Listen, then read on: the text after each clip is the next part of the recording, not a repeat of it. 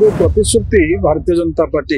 निर्वाचनको बेले देइतला एवं प्रधानमन्त्री विभिन्न सभाले कइतिले जे हामी 50 हजार टका दबु पाच वर्ष भित्रै त आमध्य पुछिछिवो दि गोटे ରେକଗ୍ନିସନ୍ ମିଳିଲା ଯେଉଁ ମହିଳାମାନେ ନିରବରେ କାର୍ଯ୍ୟ ସମ୍ପାଦନ କରି କରିଆସୁଥିଲେ ସମାଜ ଗଠନ କ୍ଷେତ୍ରରେ ସେମାନଙ୍କ ପାଖରେ ଆଜି କିଛି ପଇସା ପହଞ୍ଚିବ ଏବଂ ଯେଉଁ ପ୍ରତିଶ୍ରୁତି ଭାରତୀୟ ଜନତା ପାର୍ଟି ନିର୍ବାଚନ ବେଳେ ଦେଇଥିଲା ଏବଂ ପ୍ରଧାନମନ୍ତ୍ରୀ ବିଭିନ୍ନ ସଭାରେ କହିଥିଲେ ଯେ ଆମେ ପଚାଶ ହଜାର ଟଙ୍କା ଦେବୁ ପାଞ୍ଚ ବର୍ଷ ଭିତରେ ତାହା ମଧ୍ୟ ପହଞ୍ଚିଯିବ ଏବଂ ଏଇ ଯେଉଁ ଡିଜିଟାଲ ମୋଡ଼ରେ ବର୍ତ୍ତମାନ ଏଇ ଟଙ୍କାଟି ତାଙ୍କ ଆକାଉଣ୍ଟକୁ ଯିବ ଏବଂ ସେମାନେ ମଧ୍ୟ ବ୍ୟବହାର କରିପାରିବେ ସେ ହେଉଛି ଗୋଟେ ବଡ଼ କଥା ଏହା ଏକ ଉଦାହରଣ ସୃଷ୍ଟି କରିବ ସମଗ୍ର ଦେଶ ପାଇଁ ଯେ କିଭଳି ଭାବରେ ମହିଳାମାନଙ୍କ ପାଇଁ ଏ ପ୍ରକାରର ଆତ୍ମ ବ୍ୟବସ୍ଥା ସେ କରିପାରିବେ ଆଜି ରେଳ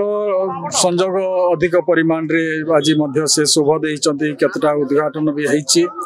ଆଉ ଯୋଉ ରାଜରାସ୍ତା ଅଛି ନ୍ୟାସନାଲ ହାଇୱେ ଅଛି ସେ କାର୍ଯ୍ୟକ୍ରମ ମଧ୍ୟ ଆଗକୁ ମଧ୍ୟ ହେବାର ଅଛି